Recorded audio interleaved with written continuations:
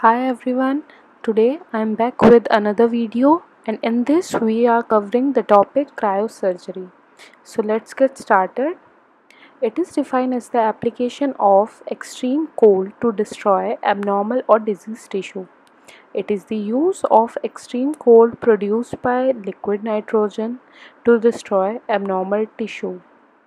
Minus 15 degrees Celsius is necessary to produce intracellular ice formation and minus 50 degrees Celsius is required for the destruction of any malignant neoplasm. Liquid nitrogen probe reaches a temperature of around minus 180 degrees Celsius and in the spray it is minus 198 degrees Celsius. Now the cryoprobe is a surgical instrument with a cold tip which is used in this technique. The temperature is determined by the boiling point of the refrigerant liquid. There are two types of mechanism of cryosurgery which are the first one is immediate cell destruction and the second one is delayed cell destruction. Ulcers, warts, moles, skin tags, solar keratosis, small cancers are treated by cryosurgery. Now come to the mechanism of tissue destruction or how it works. So the freezing produces ice crystal formation within cell wall resulting in cell membrane rupture which leads to death.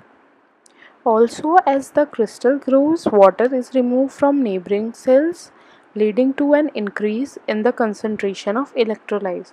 So these soon reach toxic levels initiating cell death by osmotic shock. The methodology used is N2O system can achieve a probe tissue temperature of around minus 90 degrees Celsius. It works with the principle of rapid expansion of gas producing refrigeration which is also known as Joule-Thomson effect. Liquid nitrogen can achieve a probe temperature around minus 190 degrees Celsius. Now come to its uses. So it can be used in hemorrhoidectomy and cutaneous lesions.